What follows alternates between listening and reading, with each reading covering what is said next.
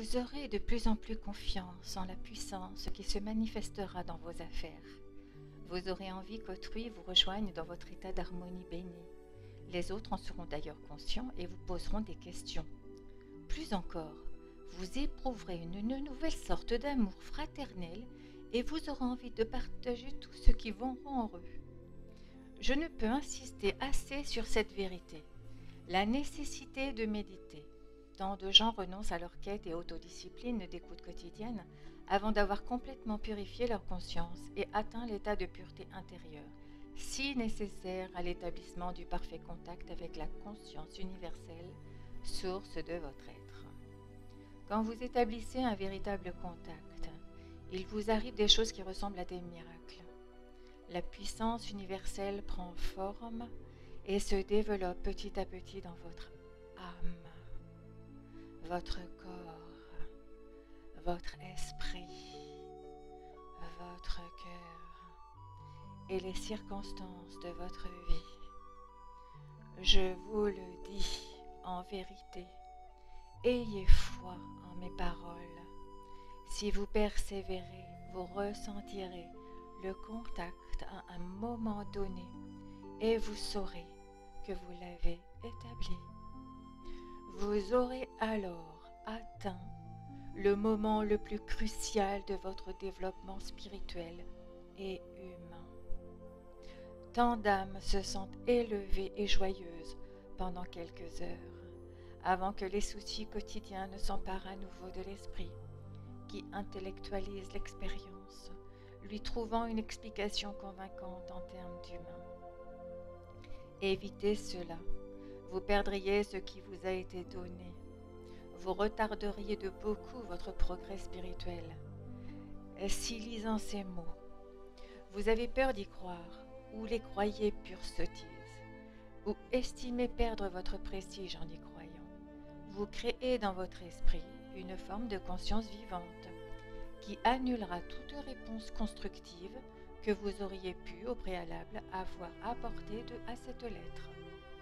Je vous le dis, chérissez vos moments de foi.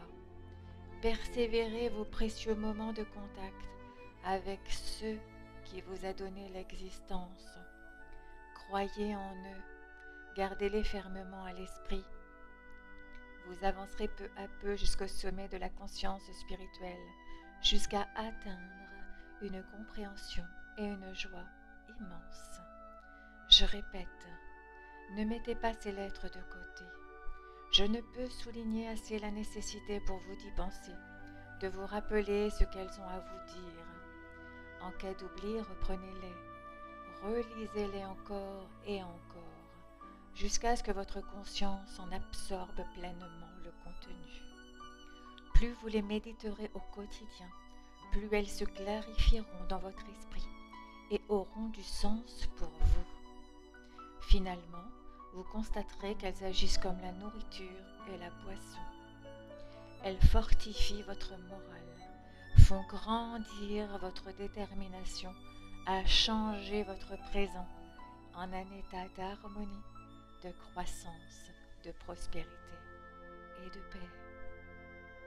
Grandes seront votre inspiration et votre joie quand vous réaliserez combien la puissance immense qui vous a amené à l'existence est rayonnante, radieuse, extatique, combien elle dépasse votre capacité présente à la rêver et l'imaginer. C'est la réalité. C'est la source de l'être, la source de tout ce que vous voyez dans votre monde vivant naturel celle encore de bien ces niveaux d'existence au-delà de celui que vous habitez actuellement recevant abondamment la conscience divine dans votre esprit, en vous-même, dans toute votre existence, vous constatez une énorme différence. Vous vous remémorez vos moments de tension, de tristesse, et voyez que les limitations anciennes de votre vie ont peu à peu fait place à un bonheur plus grand. Cela devient un processus continu dans votre vie. Soyez confiant. C'est vraiment moi, le Christ, qui vous ouvre les bras, à vous et au monde entier, au moyen de ces lettres. J'insiste particulièrement sur les affirmations que j'ai prononcées délibérément dans les pages précédentes. J'ai voulu élever vos pensées à un niveau supérieur de conscience en énumérant les gains qui seront vôtres si vous travaillez à élever votre conscience et la débarrasser des traits négatifs mentionnés au début de cette lettre. Surtout, prenez conscience que je viens vous aider à débarrasser votre moi des pensées et émotions indésirables issues de l'ego qui contrôle actuellement votre esprit. Je viens aussi expressément vous encourager, vous aider, oui, vous aider à développer en votre esprit et votre cœur les pensées et émotions fondées sur l'amour qui vous harmoniseront avec la conscience divine. Mon objectif, le plus urgent et aimant, c'est de vous extirper des ombres grises de l'existence dans lesquelles vous vivez actuellement. Je veux vous mener vivre au soleil de l'illumination spirituelle qui vous attend, une fois les pulsions de l'ego maîtrisées. Vous serez unis à votre âme, à la vie permère, et accéderez à l'harmonie de l'amour inconditionnel pour tous. Je répète donc la liste des caractéristiques négatives exposées au début de cette lettre. Lisez-les attentivement et observez vos réactions et sentiments, tandis que vous les passez lentement en revue. La critique, le sarcasme, le jugement, le rejet, le dénigrement, l'hostilité, l'intolérance, la haine, la jalousie, l'agressivité, les impulsions violentes, le vol, le mensonge, la fourberie, la malhonnêteté, la calomnie. Comment vous débarrasser de celles que vous connaissez comme faisant partie de votre conscience? Faites-leur face sans honte. Vous êtes un être humain, né sous l'influence de l'ego. Ne soyez pas effrayé ou découragé au point de renoncer à leur faire face. Faites un premier pas en totale honnêteté. Notez-les sur une feuille de papier. La seconde étape consiste à vous allonger et à placer la feuille de papier sur votre poitrine. Fermez les yeux et adressez-vous en pensée à la réalité divine, votre source d'être, qui est, vous le savez maintenant, votre procréateur aimant, votre Père, Mère spirituelle. Il irradie de façon généreuse, permanente, constante, l'amour paternel inconditionnel. Prenez le temps de calmer votre esprit jusqu'à sentir que vous passez au-delà de votre propre conscience. Demandez alors de l'aide pour enlever, dissoudre et surmonter les manifestations de rejet de l'ego, fausses et inutiles, durant tous les jours à venir. Faites votre demande avec une foi parfaite et en vous attendant à une réponse immédiate, puisque vous fonctionnez en conscience. Sur le plan émotionnel, précisez à votre Père spirituel ou réalité divine, donc à vous-même, que vous ne voulez plus de ces réponses négatives de l'ego dans votre conscience. Demandez l'inspiration et la force de faire tous les efforts possibles pour les éviter ou les refuser à partir de cet instant. En agissant de la sorte, vous créez une nouvelle forme de conscience qui commence maintenant à infiltrer et investir votre conscience présente. Votre intention devient maintenant votre réalité. Les caractéristiques négatives d'autrefois, notées sur votre papier et remises au Père spirituel, sont à présent dans les limbes du rejet de votre conscience. Ce rejet conscient vous sert aussi à attirer la puissance divine dans votre conscience.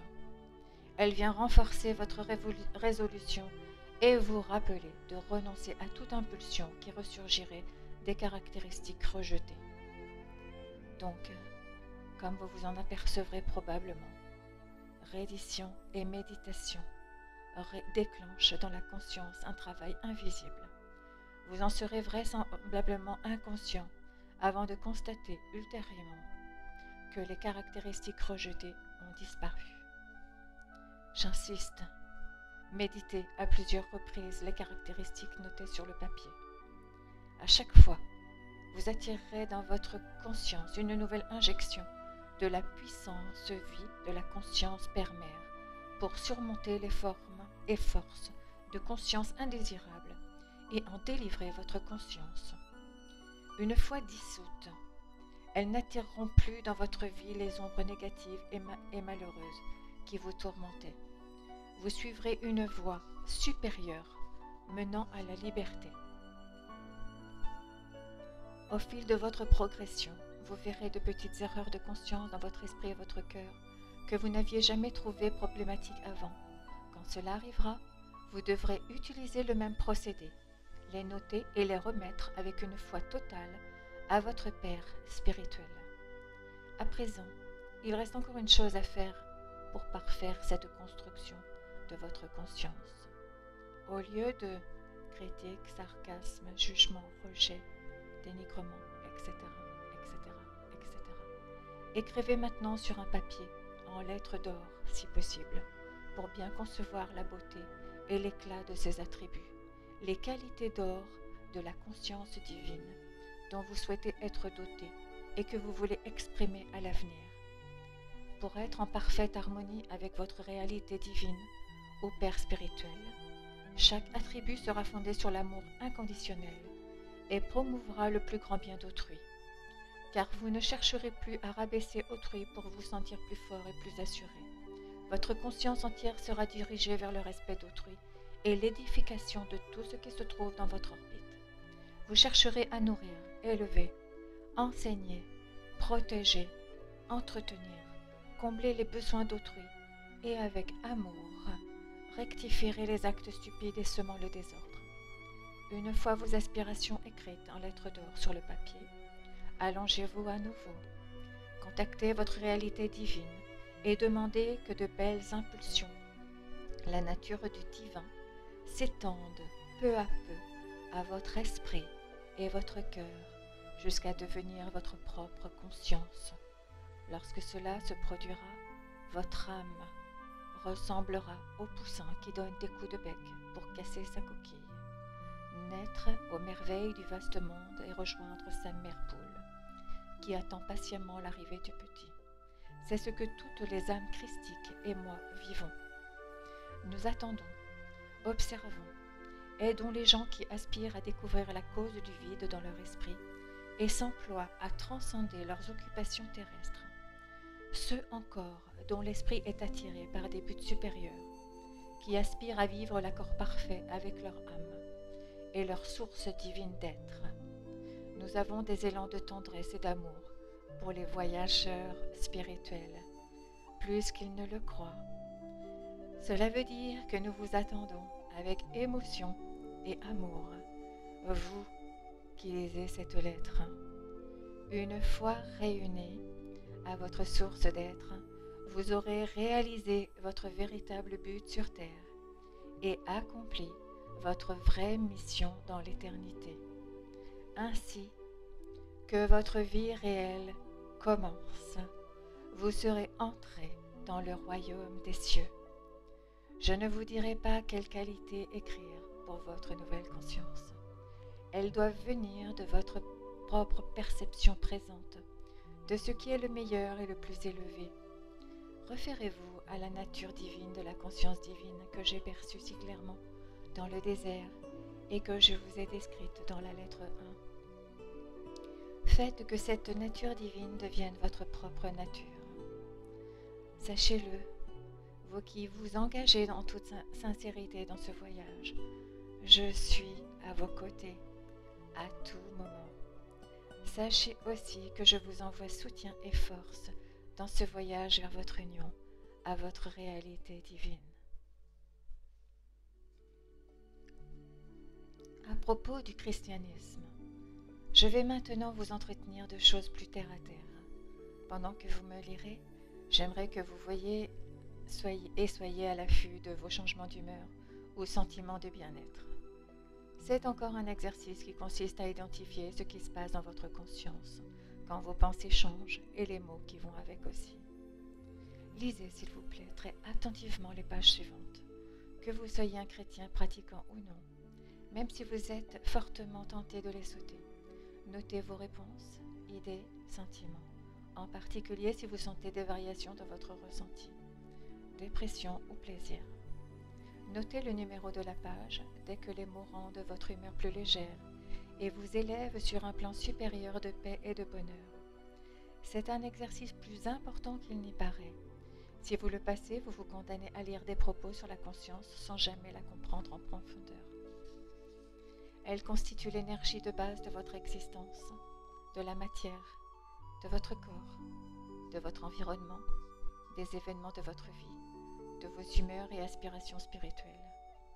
Vous comprendrez que la conscience est la totalité, la substance universelle de votre existence et de vos expériences, lorsque vous remarquerez comment vos idées et opinions élèvent ou abaissent les fréquences de vibration de votre conscience.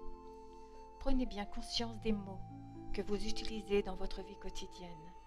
Voyez quelle qualité de vie ils créent pour vous et quel impact ils ont sur les autres. S'ils s'élèvent leur humeur, dans la paix et la joie, ou les laisse déprimés et épuisés. J'ai aussi la ferme intention de toucher ceux qui parmi vous sont aujourd'hui adeptes de la religion chrétienne, ceux qui s'opposent au conditionnement religieux passé au présent et trouvent difficile de se défaire des dogmes qui entravent leur perception afin d'atteindre les fréquences vibratoires plus fines d'une connaissance spirituelle plus haute. Peut-être craignez-vous la damnation à la seule lecture de ces pages. Vous êtes pourtant fortement attiré par elles et sentez intuitivement qu'il s'agit là de propos sur la vérité de l'existence que vos ministres du culte ne vous ont pas enseigné. Vous êtes déchiré entre votre besoin impérieux de connaître la vérité et votre crainte de déplaire à Dieu, quelle que soit la forme sous laquelle vous le percevez actuellement. Moi, le Christ, suis bien conscient du désarroi que ces lettres provoquent chez beaucoup de gens sincères. Mon désir le plus cher est de vous amener à quitter votre inquiétude pour atteindre une sérénité et une joie parfaite.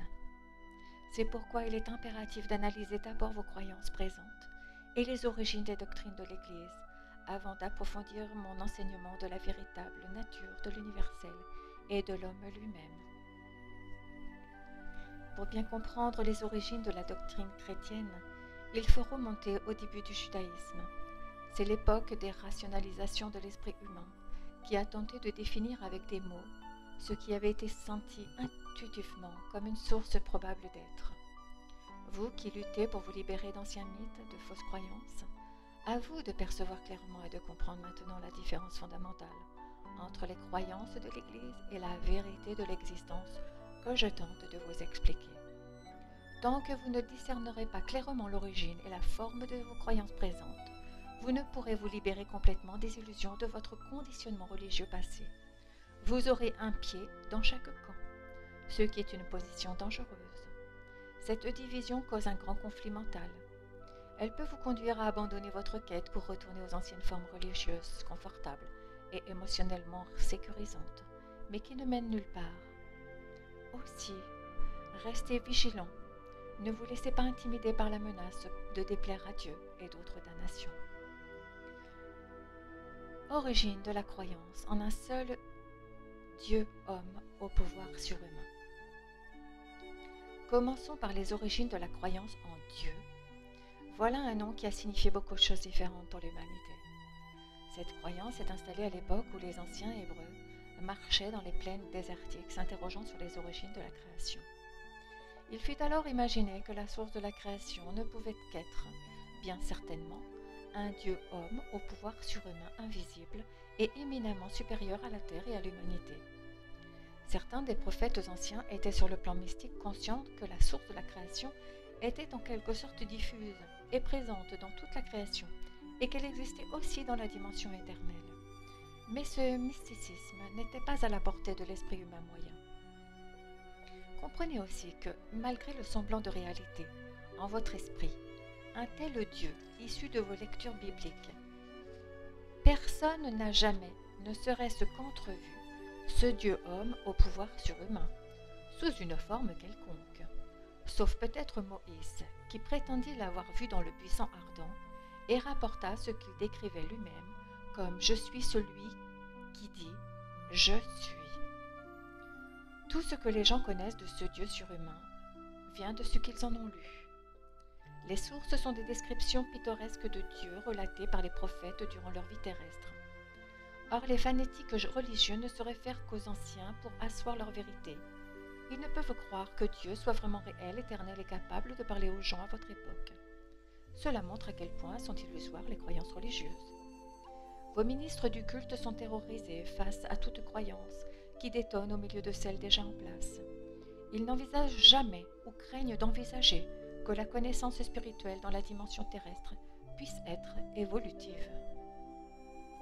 Je vous demande de bien voir qu'il a été conçu un tissu de croyances, mélange de rationalisation et de superstition, sorte de filet de sécurité mentale et émotionnelle, pour que l'esprit et le cœur des gens s'y empêtrent et s'y prennent au piège.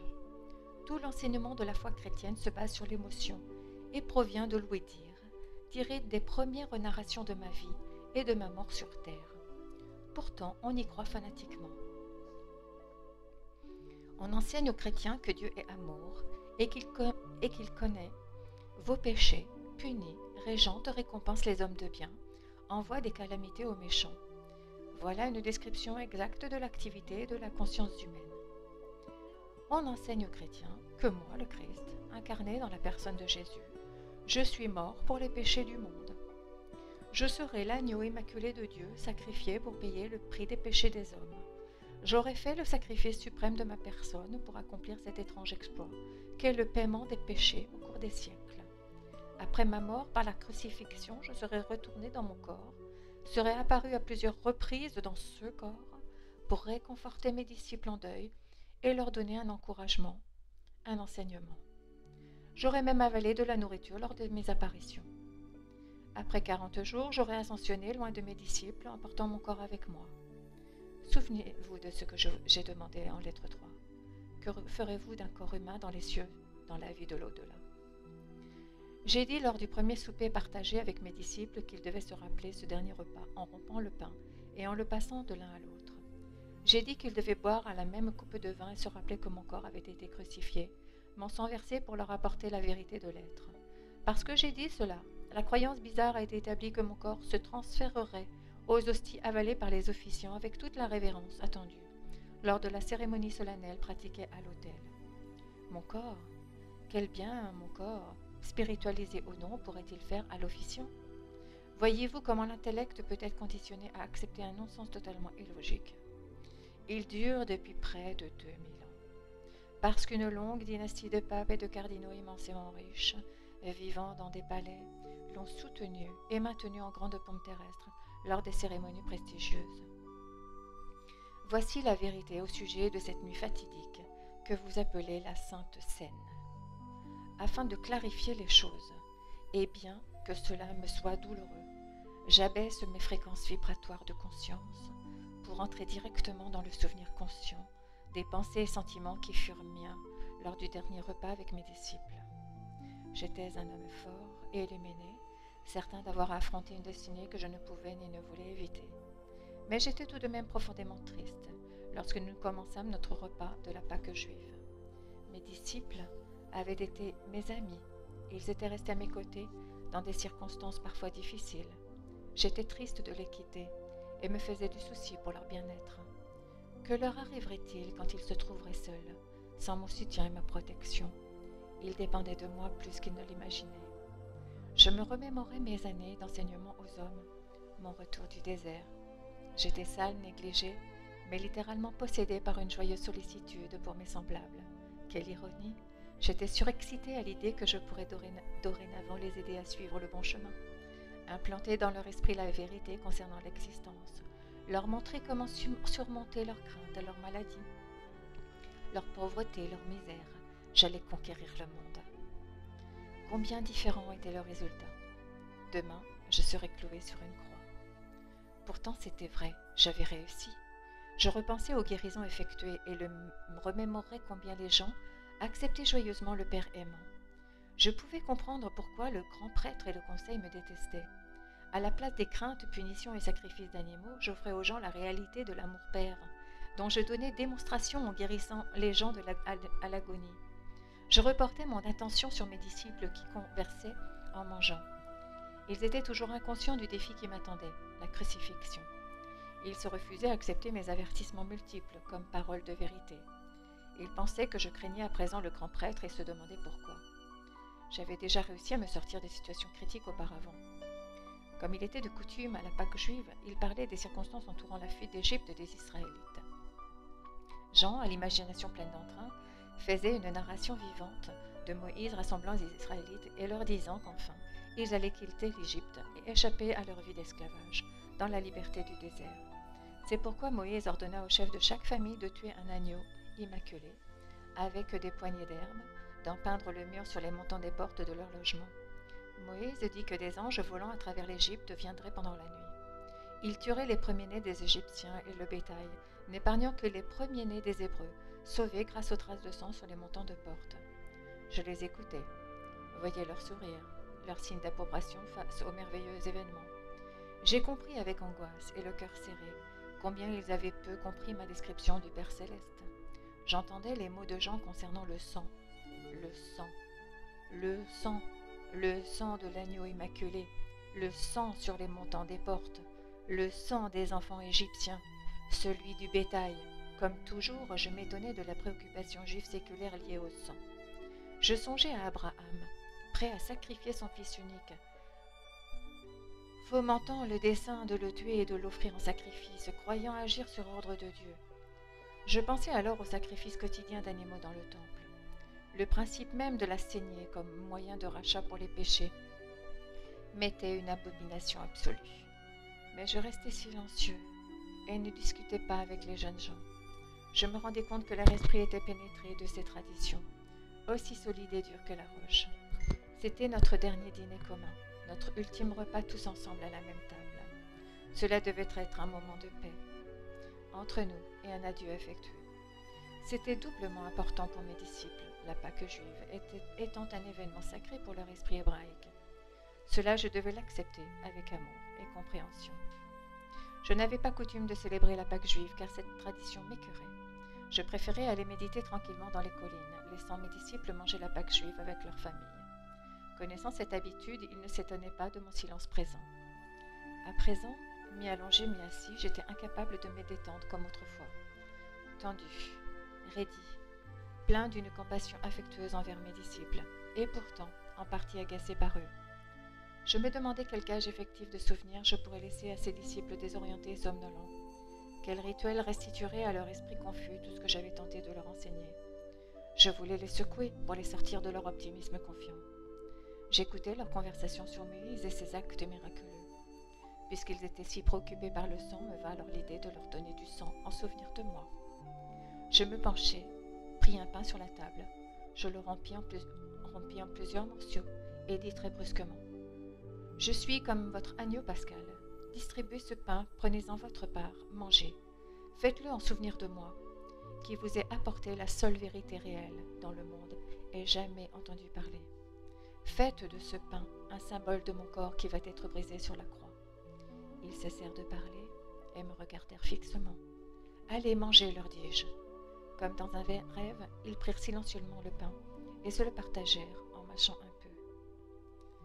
Puis, je pris le grand calice de vin, leur dis d'en boire et de le faire passer de main en main. Ce vin est un symbole de mon sang. Je suis venu vous donner la vérité, la vérité au sujet de Dieu, la vérité au sujet de la vie. Mais j'ai été rejeté, mon sang coulera pour vous. De nouveau, en silence, ils burent tour à tour dans le calice. Leur visage était tendu, mais ils ne dirent rien.